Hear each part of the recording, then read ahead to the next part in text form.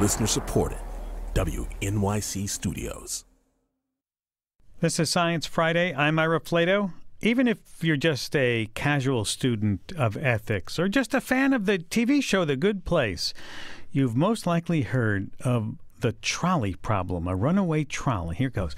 It's on course to kill five people working down the track unless you pull a lever to switch the trolley to a different track where only one person would be killed. Do you intervene to kill the innocent bystander? Michael, what did you do? I made the trolley problem real so we could see how the ethics would actually play out. There are five workers on this track and one over there. Here are the levers to switch the tracks. Make a choice. The, the thing is, I mean, ethically speaking. No time, dude. Make a decision. Well, it's tricky. I mean, on the one hand, if you ascribe to a purely utilitarian worldview, yeah, that was a, a segment from The Good Place, and you can see it's one thing to imagine the trolley problem with a human at controls, but what what about a driverless driverless car, which you know controlled by a computer? Autonomous vehicles are set to take over the road in the not too distant future. The UN recently passed a resolution that supports their mass adoption, and that will put the decision of whom to save and whom to kill in the hands of a machine. Who should the car decide to protect? The passengers, the pedestrians, older people, younger people, a pregnant woman, a homeless person? My next guest discovered that how we answer that question depends on the culture we come from, and that could make designing an ethical, autonomous vehicle a lot more challenging. Sohan Dsouza is a research assistant with MIT Media Lab in Cambridge. His research is in the journal Nature this week. Welcome to Science Friday. Uh, thank you. Uh, it's a pleasure to be on. Nice to have you. Why is the trolley problem the best way to think about the future of driverless cars? Well, uh, driverless cars promise to um, eliminate a large number of accidents, like the, the vast majority of accidents that currently happen due to human error. But in the small number of uh, cases where you have unavoidable accidents, there may be cases of unavoidable harm. And you know, uh, typically we've had we've had Asimov's uh, laws of robotics, and those don't really those aren't really sufficient to look at situations where um, an AI has to balance risks or balance harm or distribute harm. Mm-hmm. Asimov's, so, yeah, that's, yeah, Asimov's laws, one of its laws of robotics says that it will never harm its creator, the robot. And that may not be the case when, in really when driverless cars come about. Uh, yeah. So in, in 2016, uh, we actually released the Moral Machine website, uh, which which is the main source of data for this study. Um, in 2016, uh, as a companion website to a paper uh, that my PI, among others, and others uh, published about the social dilemma of autonomous vehicles. Um, and that there was a study about what people think of autonomous vehicles that might have to say um, sacrifice one passenger mm-hmm. to save five pedestrians, um, and people were found to um, want that as the norm, like self, like sacrificing cars uh, cars that might sacrifice their passengers, but they don't want to use one or be in one themselves. Hmm. So that's a, a, bit of a dilemma, and we wanted to get more data about all the different factors that might go into this equation. Hmm. And, and in your study, when you, you surveyed people all over the world, there did not seem to be one philosophy of what should happen in this situation. Yes, uh, there were broad global trends. Um, like, for example, nearly every country um, had a preference for um, b- between male between male and female uh, characters uh, as um, morally significant um, in, in outcomes. They would prefer to say females, but the relative strengths of that preference varied from country to country, and we noticed that clusters, um, more or less according to some cultural um, and geographic proximity, such as what? What? What? To give me Asia versus Middle East places, the Europe, North America. How were they all different? So uh, uh, there were there were three main clusters. Actually, Asia, as in East Asia, and um, some Middle Eastern countries and South Asia, kind of clustered together as the we call that the Eastern cluster. And then there's the southern cluster, which is dominated by Latin American countries and countries of, um, of French uh, francophone heritage. And there's um, the other countries are in the northern cluster. Oh, sorry, the the western cluster, which is mostly Western countries of uh, uh, of Protestant or, or Catholic provenance. Mm-hmm. So the countries in Asia and the Middle East preferred to spare younger rather than older characters. Uh, uh was, oh, was it was much less pronounced there? Yes, the the the general preference for sparing younger over older characters was much less pronounced in the case of the Eastern mm-hmm. cluster. Mm-hmm. And in Europe and North America, they preferred to spare whom? Oh, um, I mean, they they, they had um, you know, the kind of more, more, or less that was the average, mm-hmm. and then in um, in in the southern cluster, that's mostly the Latin American countries, uh, they had a slightly higher um, propensity to save the young. Mm-hmm. Now, I, I took this test; it was quite fascinating, and I know I had my own personal reasons for making the choices I made. How can you tell what types of logic people are using to make these choices? Um, there are different equations that might go into this. I mean, the classic one is uh, uh, utilitarianism, as as we heard in that clip you played, mm-hmm. um, and uh, deontology. So utilitarianism is, you know, should the should be save as many lives as possible, uh, even if that means uh, committing to an act to an action, uh, like intervening. And there's also the deontological approach, which is like do no harm. Um, so th- th- that's those are the well-known ones, and uh, uh, we've noticed, for example, like in different countries, there are cultural factors and uh, and economic factors even that influence what decisions uh, people make. Yeah. Um, for example, in countries with relatively higher economic inequality, they have a relatively higher tendency, a relatively higher uh, preference for saving high status individuals versus low status individuals. Yeah, you know, you put that into your tests, but in, in, in the scenarios, they include income, gender, physical characteristics, different ages. These aren't things that the current driverless cars can identify, are they? I mean, they're not going to be, you know, knowledgeable of all those different things when it comes to making a decision. So, is that really a practical way to study it? Uh, it depends what you use it for. Um, we do not really expect that we'll just take this data and build a model and and um, you know plug it into the vehicle, into vehicles, into future autonomous vehicles.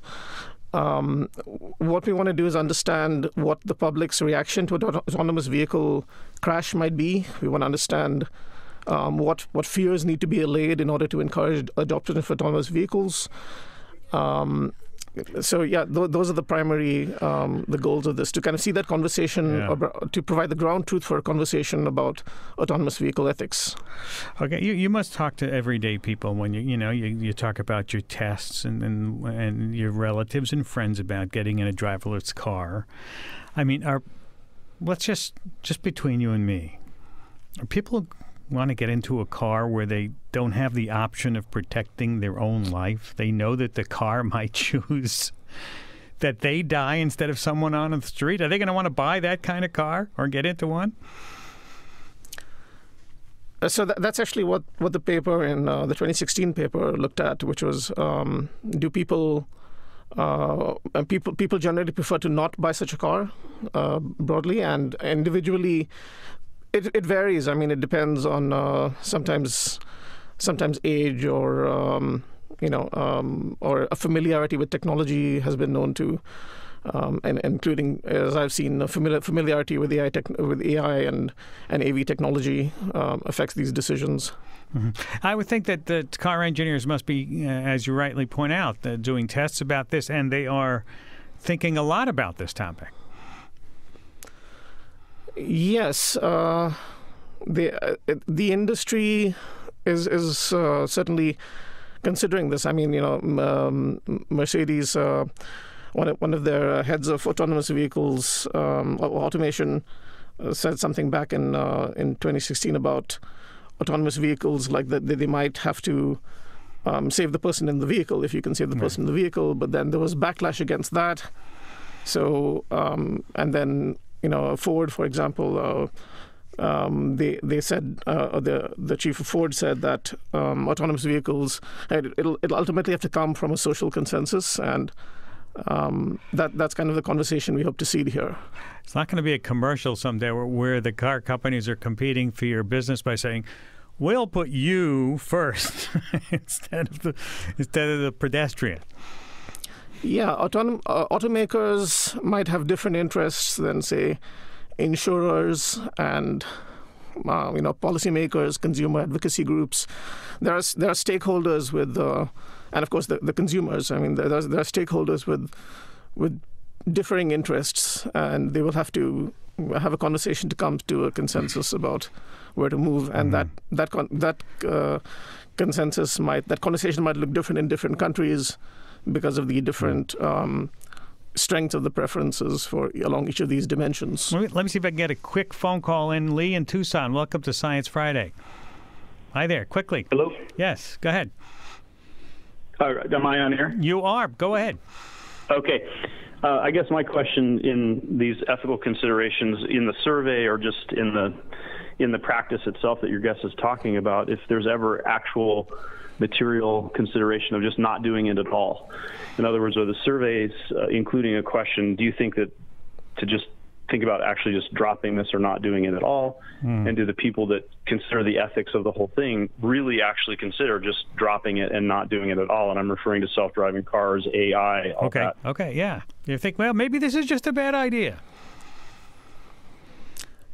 Um, that I mean, we think that that more knowledge is always good.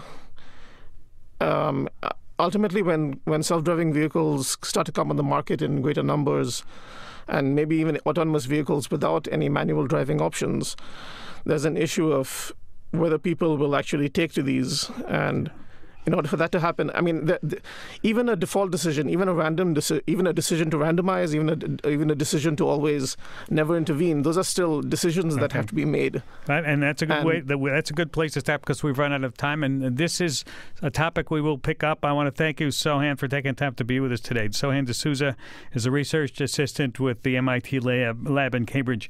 We're going to take a break and uh, take off with the original Moon Man, Neil Armstrong, in the new film First Man. Have you seen it? What do you think about it? Give us a call. We'll be right back after this break. This is Science Friday. I'm Ira Flatow. The most spectacular science shocker ever filmed. Too real to be science fiction. Now, science fact. Yes, indeed. It's time for another episode of Science Goes to the Movies, and this week a time honored story of a man, a plan, and the moon. I don't know what space exploration will uncover, but I don't think it'll be exploration just for the sake of exploration.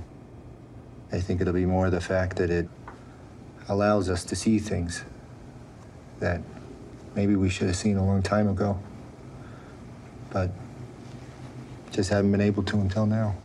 Mm, that's actor Ryan Gosling playing astronaut Neil Armstrong in the new movie First Man. He's talking about why he wants to be part of the Gemini mission's astronaut crew, which uh, will later finds out he lands him as the first human to set food set foot on the surface of the moon. And we've gathered a stellar panel of space nerds to talk about the film, what they liked, and maybe could have been done a little bit differently. Maybe there were some errors in the film. I want to hear from you. If you if you could make a movie about space exploration, what story would you want to tell? You know, these are the common stories we hear, the famous ones. What about some unfamous people or famous stories that that could be from the space race or right now, any decade you like? Give us a call. Our number is 844-724-8255, 844-SciTalk. You can also tweet us at SciFri. Let me introduce my guests. Miriam Kramer, science editor at Mashable. Welcome to Science Friday. Hi, thanks for having me. And Nujoud Merancy is a human exploration mission an- analysis lead at NASA's Johnson Space Center in Houston. Welcome to New York. Thank you. Good afternoon. Yeah. And Asif uh, Siddiqi is a, his, a history professor studying space exploration at Fordham University. His most recent book is Beyond Earth, a chronicle of deep space exploration. Nice to have you. Nice to be here. Spoiler alert. That's it. We're deep diving into the movie, and that means we'll be talking about uh, key plot points including yes, does Neil Armstrong make it safely back to the moon and back. if you don't know that by now, we'll get, we're going to be giving that away. So if you want to take part, our number 844-724-8255. Uh, you can also reach us at SciFri. Um, Miriam, let's uh, let's start with the review. Thumbs up or thumbs down? Oh, I loved it. You I'm, loved it. I'm in the tank for this movie. I really liked First Man. Uh, it actually, I've said this, uh, it kind of surpassed my previous favorite space movie uh, and is now in the top spot above Apollo 13. So, really? Yeah. That, that's pretty high praise. Yeah, I really, I really enjoyed it. I thought that it was sort of the space movie that uh, that we needed in a lot of ways. Why? What do you mean we needed? A Well- feel-good movie? Not so much. More, uh, I really enjoyed the tone of it. Like I, I have wanted for a long time uh, for there to be some kind of darker look at space history, and I think that this kind of gave it to us in a lot of different ways. From like the creaking metal of the ships as, as they were part. launching, I thought it was love great. I was, you know, You I was really if he was going to inside that tin can as it was, you know, get an idea how the rattling, how much vibration that really was in there. Exactly. It, like real, I felt it, um, and just also like looking at the portrayal of masculinity and kind of the way that the whole movie came together around that. I thought was uh, really astute in a lot of ways. Nujoud, what did you think? On a personal level, I really enjoyed it. Um, for me, it's the first person aspect versus just sort of watching it from the outside. You could really put yourself in the movie, and you know, most of us will never get to fly in space. So, getting to actually experience it in a way uh, was really um, a fun way to have a movie made. hmm Uh, so, for throughout the film, we see Neil Armstrong as uh, dispassionate, reserved, contained, and, and that was all part of his engineering mindset. Here's a, here's a clip. You're planning on taking some of her jewelry to the moon, Buzz? Sure. What, what fella wouldn't want to give his wife bragging rights? Neil, will you take anything? Uh, if I had a choice, I'd take more fuel. I think that's a real quote of his. You you met Neil, right? I did. I did. I, I met him once um, at a conference. Uh, I think you know the movie really does justice to his character in a way, uh, and I like the movie quite a bit. It's a it's a flawed movie, but it's a really great movie. I really think this is a, a movie that captures the other side of the right stuff, so to speak, the engineering, technical backgrounds, and the kind of commitment these guys needed to have beyond just be fighter jocks and and that kind of internal narrative, internal uh, um, kind of story in this in this movie about what it t- took to be an astronaut, I think really co- is communicated really effectively. Was he as reserved as you when, as you knew him? And Well, I, I didn't really. I don't think I knew him that well, but from what I understand, he was very reserved. But he was not, I think, as perhaps dour as portrayed in the movie.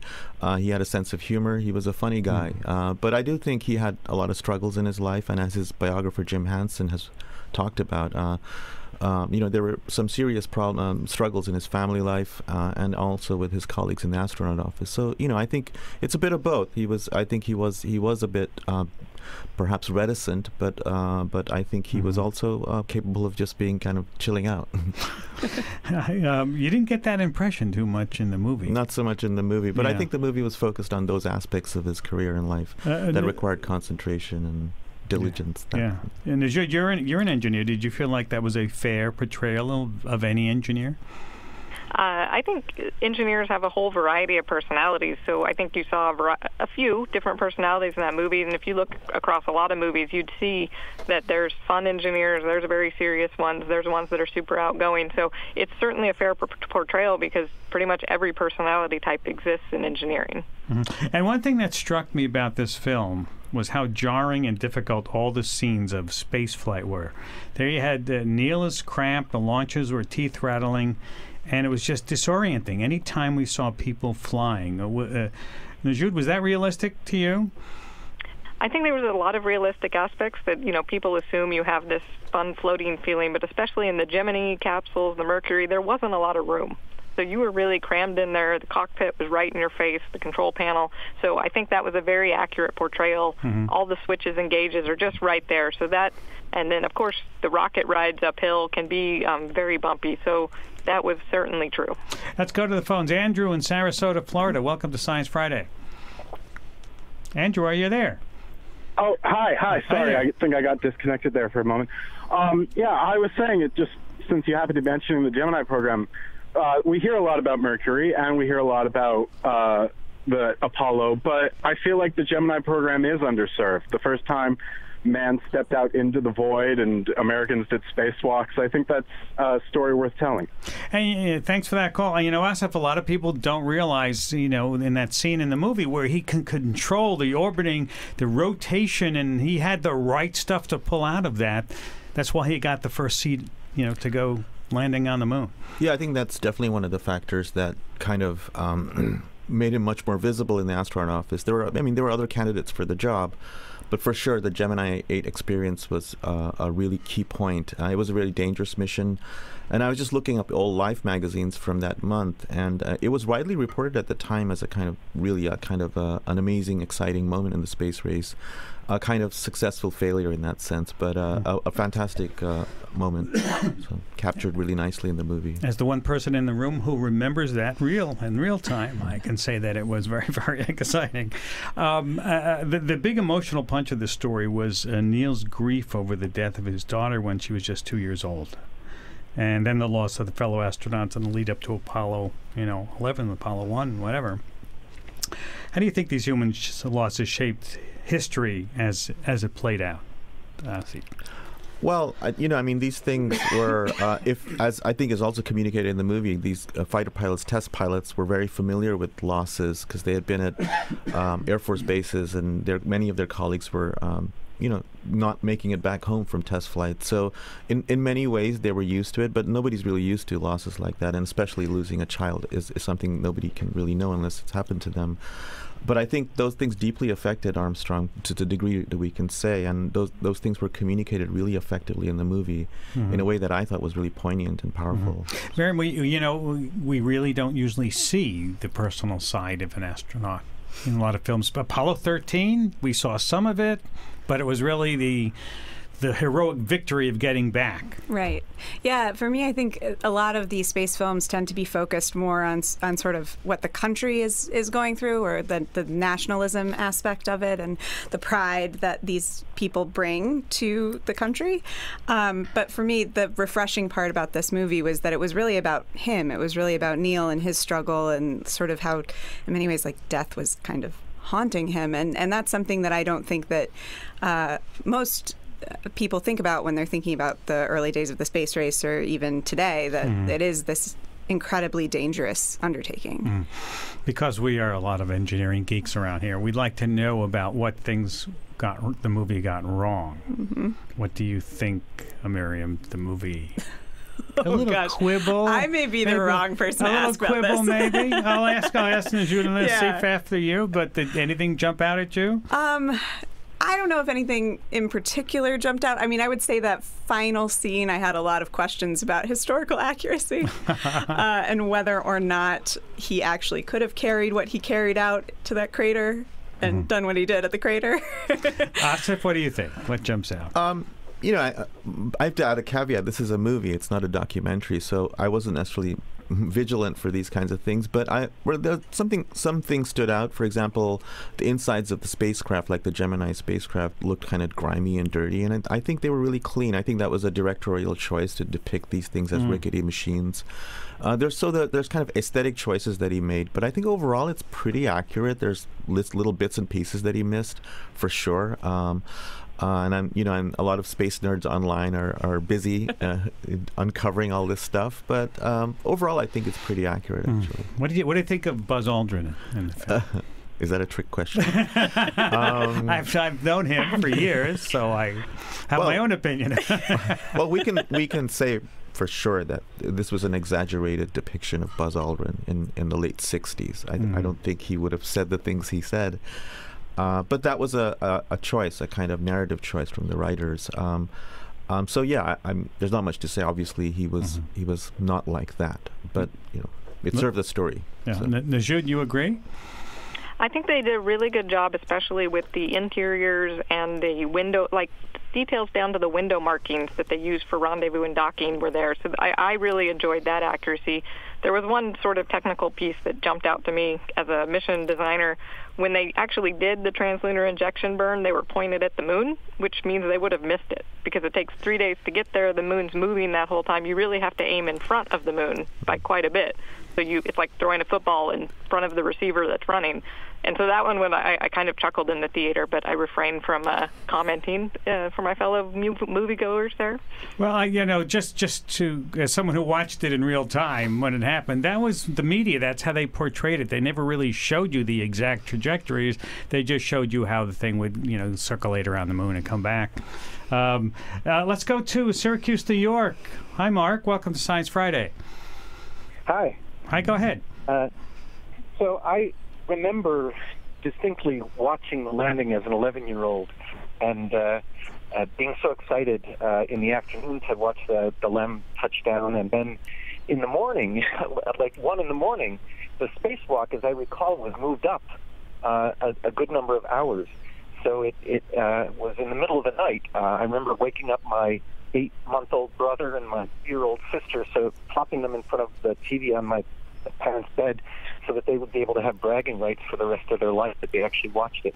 But I, I was wondering, it, it, missing from the movie was uh, the emotional uh, uh, reasons why uh, that was pushed up so much. I, I mean, that, that I assume would give some insight also into Neil Armstrong's emotions at that moment. Hmm. I'm Ira Flatow. This is Science Friday from WNYC Studios. Any reaction about the comment? Uh, yeah, from what I remember, the moonwalk was pushed ahead because the guys didn't want to wait. Yeah. Uh, but this was a small operational decision, but uh, I don't think it has to do with any kind of particular emotional issue. They just Mhm. moved it up. So. They were there. Let's get this. Yeah. Let's get this. I think up. they were supposed to take a nap, if I Yeah. remember correctly. Yeah. I wouldn't be Kind able of to hard to sleep on the moon. Yeah. Yeah. that's very hard. uh, well, you're all, you're all here. All my guests are space nerds of some kind. And um, what did it feel like to see that representation of the landing from the astronaut's eye view? Miriam, let me go go to you first. I was on the edge of my seat. It was so funny. I was like, I knew, I knew he was going to land. We all know he lands, but for some reason, I was just like, oh gosh, are they gonna, are they gonna make it? I was nervous. Asif? Yeah, you know, I, echoing Miriam, I mean, you know this is going to happen, but you, it was brilliantly portrayed, I thought, really wonderfully done. Uh, you got a sense of what was happening uh, through all the jargon and why Armstrong moved ahead from this crater and what he had to do. Nujoud? I think it was a fairly accurate portrayal. My understanding is there was somewhere between 10 and 20 seconds worth of propellant left on the vehicle when they actually touched down. So I'm sure they were on the edge of the seat as they were doing it. Um, that or standing, there were no seats, but uh, it was very uh, well portrayed that there was a very a high risk maneuver that Neil was executing. Yeah, well, if I remember correctly, uh, uh, following over all the years, it was there was chaos going on back home, um, which I think well, you didn't see as much of because you were in the capsule that much time watching. But the the coolness of Neil Armstrong during this whole thing, you know, hand guiding this down, and you see the the fuel ticking down, and he's not panicking, and he's there. He's finding a spot, and he puts it down. I mean, it was it was they they captured that very well. It was Absolutely. Yeah, I agree. and and then the the first step off the famous one small step. Now you, he did not say one small step for a man. He said one small step for man. You know, isn't there has hasn't there been some controversy about what he really said, Asif? Yeah, I, I mean, for years, yeah. But I think we can uh, say that, uh, you know, I think the sentiment is more important than the preposition. But uh, yeah, he, we're not sure exactly what, what he said or what didn't say because they were static. I think he said at some point afterward that he uh, it was a man. I- yeah, I'm that like, was that was the intention. That was his intention. And we look back at the space race this time uh, when the nation and for the Apollo uh, landing, the world was united in one vision. I remember all around, and they showed this in the film. I cannot remember another moment since then where the whole world was watching one event together. And it was just Hmm. sort of uh, a unifying experience, Asif. right? Remember? Yeah, ab- absolutely. I think people forget that there were actually, you know, a lot of Americans who might were not as enthusiastic about the space program in the 60s. But I think that one moment in July 69, I think there was Mm. a kind of a cultural consensus. Yeah. And this was one year after what I consider the most terrible year, 1968, I ever have lived through. So, and then there was to have this kind of event uh, that everybody was sitting united together because the country was so divided over the war. It feels a little bit like that now, that sort of same feeling. We're going to take a break and uh, talk more about uh, space travel and talk with. Uh, my guest here about the, maybe if you saw the movie, please let us know. Our number 844 724 8255. You can also tweet us at SciFri. We'll be right back after this break. Stay with us. This is Science Friday. I'm Ira Flatow. We're talking about Neil Armstrong as portrayed in the new movie First Man. From the personal hardships the astronaut overcame to the jarring, dizzying process of astronaut training, to how that story led to all the missions, and since uh, that unforgettable July night of 1969. Uh, my guests are Miriam Kramer, science editor at uh, Mashable, Nujoud Merancy, human exploration mission analysis lead at NASA's Johnson Space Center in Houston. Asif Siddiqi, a professor, history professor studying space exploration at Fordham. His most recent book is Beyond Earth, a chronicle of deep, deep space exploration. Our number is 844-724-8255. We have lots of tweets that came in. Um, let's see what we get to. Just a few of them. Tweet from Glenn who says, "No one knows how much Russia pull, uh, put the first spacecraft in orbit or the first human." Where did this knowledge come from? How did it really get us into the space race? I asked you at the beginning of the hour to tell us what kind of film you would like to see that hasn't been made yet. I think that's his hmm. his effort at explaining a film he would like to see. Let's go to the phones for another suggestion. Let's go to Allie in Cleveland. Hi, Allie. Welcome to Science Friday. Hi, I love your show. Glad Thank to be you. on. Go ahead. Go ahead, Allie. Hello? Yes, go ahead. Oh, I would love for some sort of biopic or something to be done about Mae Carol Jemison.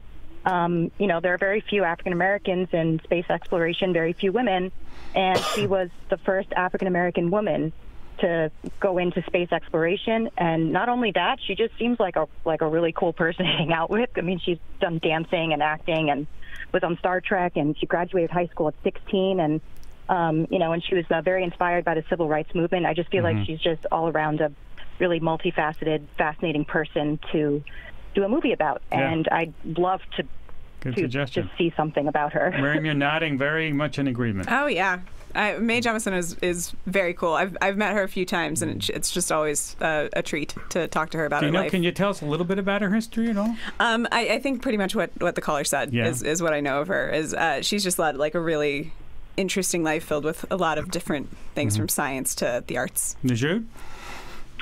Uh, on Mae Jemison, yeah, there's certainly a lot of uh, background. Um, she flew one of the shuttle flights, early ones for uh, women, and, and I think there'd be a really interesting story to tell there. That's it. Yeah, absolutely. I think that would be an amazing story, or um, you know, her life is amazing. Then there's a tweet from a tweet from Appa says, "How about the early women astronauts who didn't fly, or perhaps what would happen would have happened if they did fly?" Sounds like an interesting topic. Yeah. There are all these behind the scenes stories, right? Yeah, there are. I mean, I think um, it, that's the Mercury thir- 13, right? Uh, so I, I there I believe was a net, some kind of Netflix series about about them, also some kind of documentary series that was well regarded. Yeah. Yeah. Um, and all the people who were in that control room and all the other places, and you know, all kinds of all kinds of stories. Um, it's interesting. Uh, it, this this is a movie um, about the heroics of astronauts nearly 50 years ago, and it'll be 50 years since the moon landing next summer, which I'm having trouble getting my head around. uh, and we also have Apollo 13. We have the right stuff. Why is Hollywood still talking about things that happened 50 years ago when so much has happened since? What do you think? Yeah, I mean, that's a good question. I, I think part of it is that you know Apollo landing on the moon that was that was the big stuff like that was the big stuff that human exploration has has done in the last 50 years. I mean, the, the shuttle was exciting and incredible, but it wasn't as exciting and incredible as like actually going to the moon. um, so I, I think that it's it's a deep well that people keep coming back to because of that. Uh, and that said, like I think that there are plenty of stories to be told more in the here and now. I mean, I, I think the robots should should get their due. yeah, you know that's what I said when we were talking about this. I said all those robots. We don't hear any stories about the trials and tribulations of getting those robots. Yeah, and there are many Mars of them. and other places. Yeah, and you know what? We also don't hear about any stories of any other countries in the space race. Mhm. There are so many other, as if there are so many countries up there. Right, right. Yeah. I mean, there is a story to be told. The, the tweet about the Russians. I think that would be a an epic story to tell about their chief designer uh, and uh, their their all their travails and difficulties and the space dog Laika, and there, there's many ways to en- en- enter dog. into that story. Um, but I would say that it's not all looking back in the past. If you look at movies like um, Gravity and The Martian, those are sort of maybe imagining a, a kind of uh, alternative alternative to these sort of looking backward movies. I think maybe there is something to be said about the interest in space in general. But I like to believe we're not just looking back; we're also imagining Mhm. the future. Nujoud, what do they talk about at NASA these days about? Uh, so, well, what, our big project is actually trying to get back to the moon. So that's uh, the Orion SLS programs and all of Exploration Systems development. So, you know, really, I think once we can start flying those flights, uh, there will be a whole nother uh, crop of uh, stories to be told. And one of the things I'd like to see, I don't think the general public really understands engineering and how all of these things take to develop. So on a personal level, I think it'd be great if, if someone could figure out how to tell what it takes to actually get to the flight Hmm. for the astronauts to fly on it. hmm Ben in Mesa, Arizona, welcome to Science Friday. Yes, th- th- thank you. Uh, my name's Ben, and uh, yeah, I would I would think it'd be interesting to uh, make a film about what the uh, Challenger accident from an engineering standpoint. Um, they the engineers actually tried to stop the launch, and uh, and unfortunately that did not happen. Um, and it, in, in the end, it affected them in ways that many people didn't know. Uh, of course, it affected, it killed the crew, but uh, I think that many of the uh, the engineers have a story to tell as well. That's a that's a good point. Yeah, absolutely. I mean, that's a um, uh, that's that would be an amazing story. But um, I I think there is a planned to make a movie about the Challenger mission, um, but focused on the school teacher Christa McAuliffe. But I Mm. imagine these the decisions made uh, the the day and the the day before the launch, which were critical, will be depicted in some fashion in the movie, which were all engineering decisions and. Uh, um, and, and I'm sure will be, you know, um, crucial to understanding the accident. hmm Uh, you, Nujoud, you mentioned the Orion mission that wants to get us back to the moon. Is it, is it going to be easier because of the lessons we learned from Apollo? Uh, in a word, no. Uh, getting to the moon is just as hard today as it was in the 1960s. I mean, we know a little bit more. We have an experience base of one to draw from. Uh, but actually going to the moon, the, the mission is going to be just as risky. It's just as hard to do. Um, the amount of uh, prop we need, when Neil said he wished for more prop, I wish for more prop every day as well. Um, so th- it's not any easier getting to the moon, and it's Yeah. just as risky um, the second time around. I remember after the uh, the Apollo missions were canceled, there were three rockets left over. We only went to 17. There was supposed to be 20. I remember going to Houston and seeing them lying on their side, one lying on its side as a home for nesting birds. And I never thought there was anything as sad as seeing a Saturn V being a home for, you know, it's nice the birds had a place to nest, but it was the most Well, sad. fortunately, we, it's in a building now and it's been restored. I, I know that. I know that has been. Couldn't we just turn that, put it back in the vehicle assembly building, and send that back to the moon? I mean, Uh, so the the avionics are quite out of date at this point. I don't think we can control it anymore. when? What's the schedule for that? And do we have enough money? And is it going to be going? Uh, so we're working to a 2020 flight for the first launch of SLS uh, and really the second launch of Orion. We launched in 2014 for the first flight of Orion. Um, and that'll be an uncrewed flight. We are going around the moon uh, to a distant retrograde orbit, so it'll even go way past the moon, about 70,000 kilometers on the far side. And that will be a long mission just really to shake down all of the vehicle systems on SLS and Orion before we put crew on the next flight. So we're in progress. We have enough money, um, and it's just a challenge getting there. It's Back to the Future. Yes, indeed.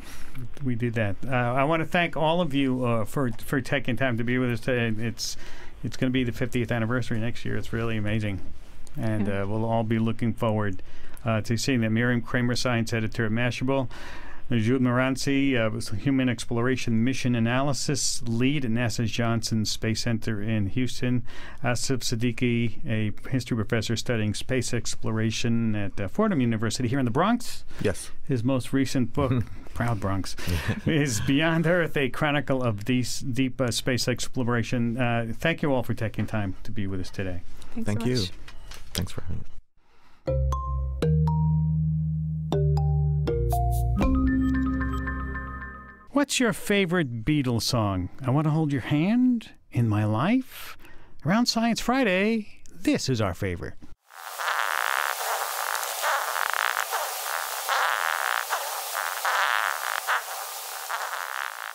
No, it's not a squeaky shoe, and it's not the Fab Four. We're talking about the fabulous horned Japanese rhinoceros beetle. That's what you heard in that clip. And these beetles have a very interesting courtship ritual. That's the topic of our latest macroscope video, and you can watch it on our website at sciencefriday.com. And here to tell us about that is Jillian Del Sol. She is a biology PhD student at the University of Montana in Missoula. Welcome to Science Friday. Hi, thank you for having me. These aren't your typical beetles, are they? They're the size. They're the size of an egg, and they have horns. Yeah, they have big horns. What do the horns look like? the horns look like these uh, these kind of thick pitchfork shaped structures. They have two main prongs, and then those are du- those are also forked. So they have these four sharp points on the end. And you have uh, collected these beetles in the field. Where do you find them? You find you can find them all over Asia. They're most famous in Japan, but my study sites were in Taiwan and in a few places in Japan, including the small island of Yakushima. So these are not the Asian longhorn beetles that ravage the woods of America. These are these are different. no. Yes, I just No, want to get that those are- clear. yeah. Yeah.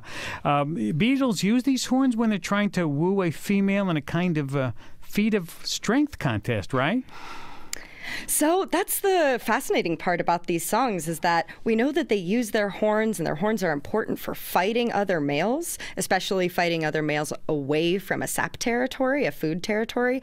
But it seems as if the females don't actually pay any attention to the horns themselves. So the males sing instead of uh, instead of using their horns with uh, female courtship at all. I'm Ira Flatow. This is Science Friday from WNYC Studios. So let me get this straight. They have these big, long horns, but to woo the females, you know, it makes sense that they sing instead. And that's what the, mm-hmm. that's the that's the sound that we heard. Let's hear what listen to the sound of the song.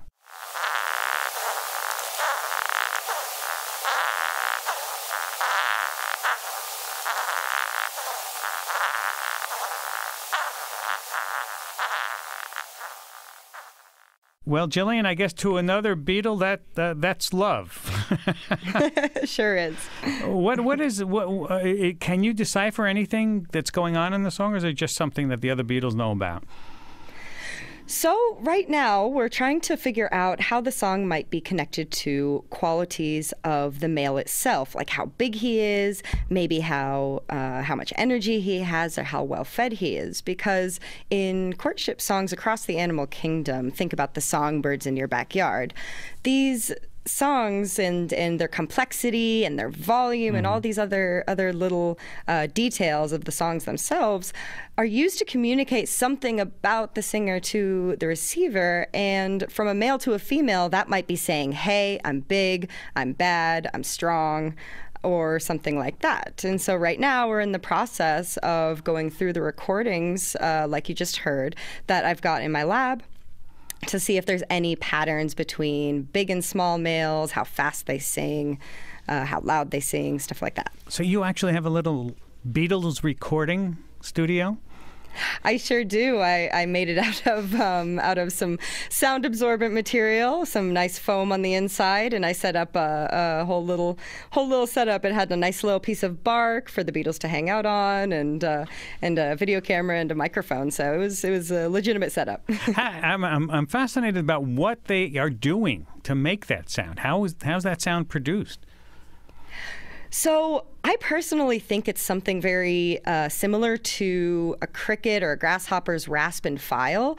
And so I think that there's sort of a, a ridged washboard structure on the abdomen that they're moving against a hard part of the wing covers um, the mm-hmm. the actual the elytra that you see on the on the back of the beetle. So I think they're moving that up and down across, much like nails on a washboard.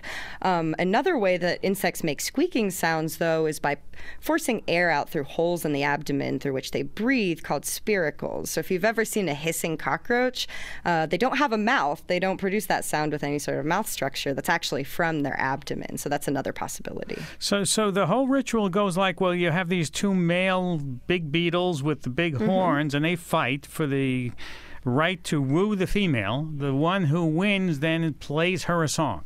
Is that basically what we have going here? Yeah, basically. And and what else would you know? Would you like to know about them? If I could give you my sixty-four dollar question and an, un, an unlimited check, which I don't have, what would you what would you do? What would you construct? How would you use it? What would you like to know? Um, I would like to know, and this is what we're trying to figure out in the lab, but right now the biggest question is what are females looking for in males? And is it different than the competitive traits that we already know are important in the competition side of things? Even in the Beatles community, that's what the question is. What are females? of course, it's the it's the, uh, the, the age million dollar question. question. It's the age, old question. Um, and so, how many beetles have you studied? Do you think? Oh gosh, over the years, well, in, in our first population, uh, we caught at least 800 males in one summer. It was they were everywhere. My uh, my old mentor described it as like a plague of beetles. I guess that's yeah. I guess that's a good description of a group of beetles, a plague of beetles. Well, biblical proportions.